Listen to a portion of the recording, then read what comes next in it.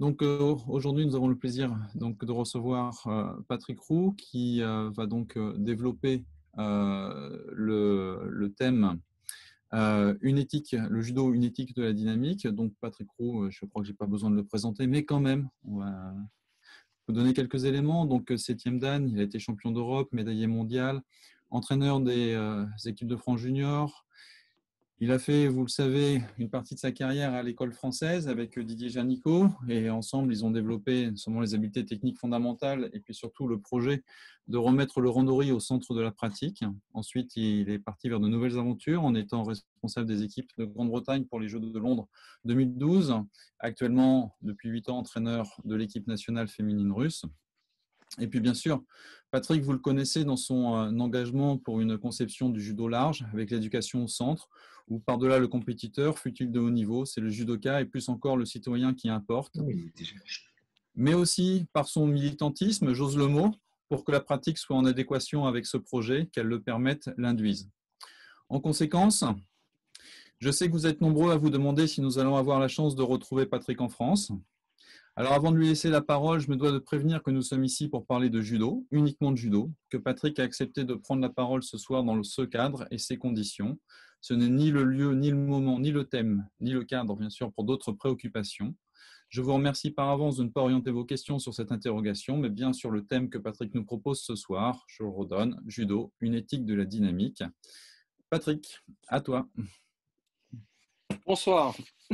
Bonsoir à tous. D'abord, je voudrais dire que je suis très heureux de vous retrouver. Euh, beaucoup de, noms et de visages euh, qui me sont familiers et qui m'ont beaucoup manqué. Euh, en premier lieu, je, suis très heureux de participer à ces Mondovisio créés et initiés par mon ami Yves Cadeau. Et je le suis d'autant plus que j'ai la chance de prendre la parole suite aux interventions passionnantes de Yves de Michel et de Jane. Euh, je pense que chacune de ces conférences euh, est une contribution, c'est ainsi que je le vois, euh, dans le but de mieux cerner et de mieux comprendre le sens du judo. Pourquoi faisons-nous du judo? À quoi cela nous sert-il? Quel est le projet? Et s'il y a un projet, quels sont les rôles de tous ces acteurs?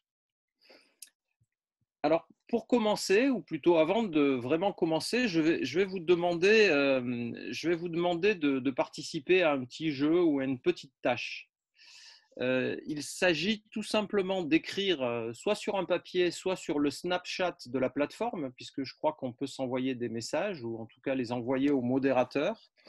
Je vous propose donc d'écrire en, deux lignes ce qui est votre meilleur souvenir de judo euh, par exemple, ça peut être euh, une belle projection, ou ça peut être un, beau combat, ou bien une sensation pendant un randori ou un entraînement. Quelque chose de personnel qui évoque pour vous euh, le meilleur du judo. Voilà, donc pendant, que, pendant que je poursuis mon introduction, je vous propose de, de participer à ce petit quiz, en quelque sorte. Alors, je, je vous dois aussi, il me semble, une explication sur le titre euh, de mon propos. Pourquoi, pourquoi ai-je intitulé ma présentation Le judo, une éthique euh, de la dynamique? Pourquoi ce titre? Au judo, euh, quand on parle du sens, quand on parle, quand on veut justifier les bienfaits de notre pratique, c'est plutôt le code moral qu'on met en avant. Et parfois que l'on juxtapose la pratique. C'est en effet un outil intéressant, mais à titre personnel, je le trouve un peu statique. Une liste de valeurs que l'on poste sur un mur, c'est très utile car c'est un rappel d'objectif, on va dire que c'est un cadre. Alors que l'éthique serait plutôt la dynamique d'un projet pour atteindre ces objectifs ce projet, c'est aussi quelque part euh, notre attitude, notre intention, notre chemin pour essayer de nous améliorer grâce à la pratique du judo.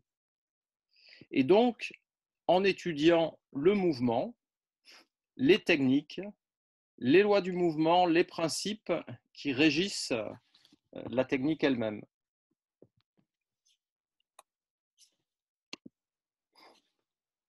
Comme chacun sait, Jigoro Kano a raconté son expérience. Il l'a écrit, il l'a transmise. Il a pratiqué les jujutsu, pratiqué avec son professeur Likubo.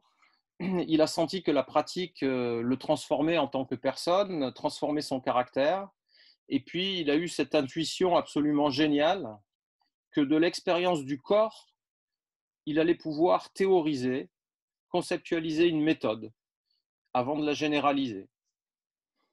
Et donc, euh, c'est un peu la raison pour laquelle nous sommes là tout de même. Euh, du fait de sa démarche, euh, j'ai souvent envie de dire que Kano, c'est un peu le Socrate du judo. C'est un peu sa démarche intellectuelle, cette attitude hypothético-déductive, le fait de toujours questionner, de ne jamais rien prendre pour argent comptant, de tout remettre en question, de tout vouloir analyser par lui-même, penser par lui-même. Et d'une certaine manière, euh, eh bien, peut-être à cause de cette attitude et de cette démarche intellectuelle, j'ai envie de dire qu'il nous inspire toujours, il continue de nous inspirer et de nous stimuler. Et je, vous, laisse lire donc euh, ces quelques phrases, plus récentes sans doute, mais non moins pertinentes.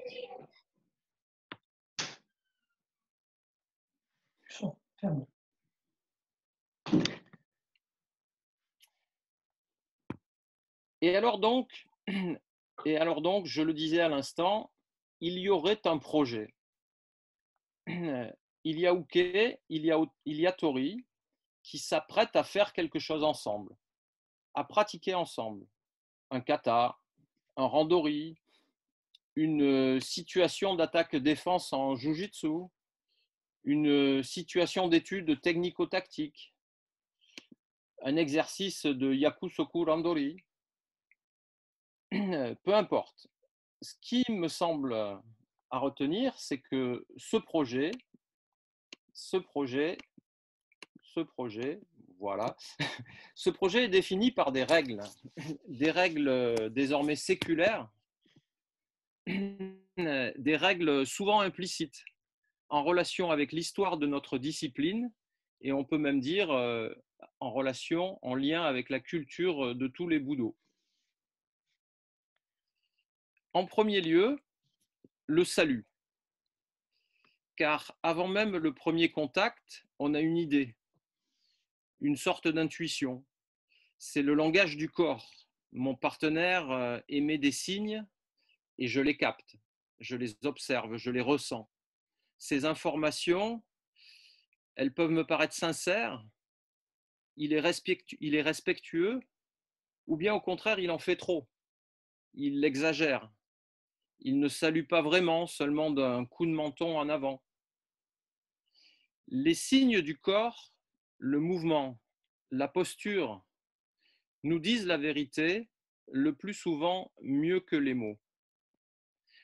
Car les mots savent mentir et faire semblant, mais le corps s'exprime même malgré nous. Alors, lorsqu'il s'agit d'une démonstration technique, d'un beau kata, lorsqu'il s'agit d'une compétition, l'intelligence du judo apparaît et il y a parfois un frisson qui parcourt l'assistance, le public, les observateurs que nous sommes. Même une phase tactique de combat intelligemment menée est une forme très riche, très dense de communication. Dans ces moments, même euh, sans parler, même sans les mots, quelque chose nous unit, nous rapproche et nous vibrons à l'unisson.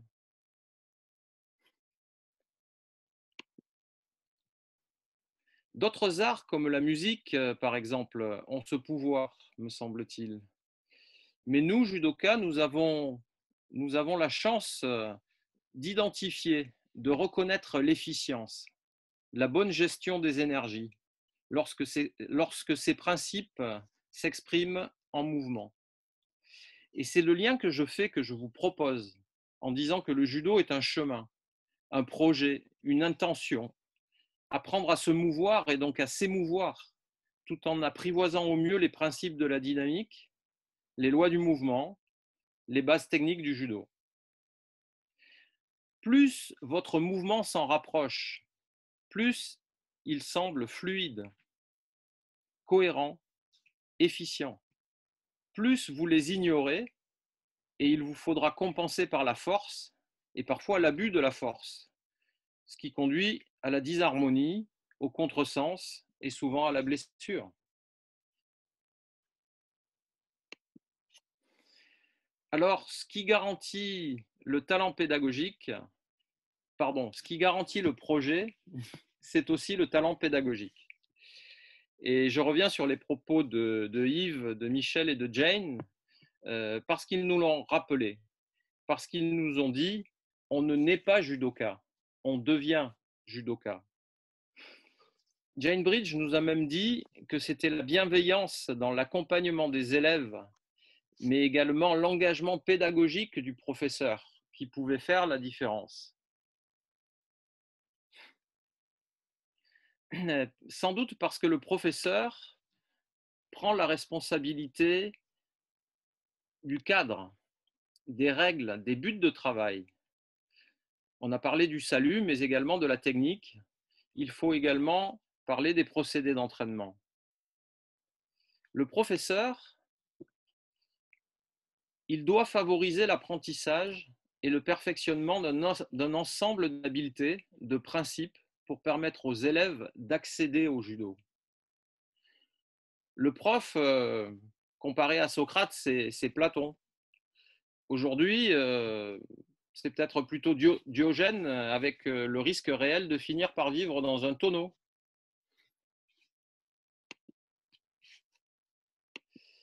Alors, toutes les belles images que nous avons, que nous avons vues, toutes les belles images que nous avons vues et vécues, dont nous, rêvons sans doute, n'existeraient pas sans ce travail des professeurs.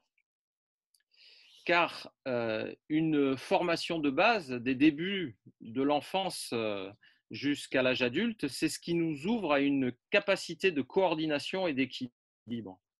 C'est ce qui nous dote des qualités motrices et de mobilité, et donc des possibilités d'adaptation. Et le rôle du professeur est intimement lié, intégré au projet d'amélioration de soi-même à travers l'apprentissage et le perfectionnement technique. On pourrait même parler de déontologie du professeur de judo, dont la motivation inaliénable de former de bons judokas.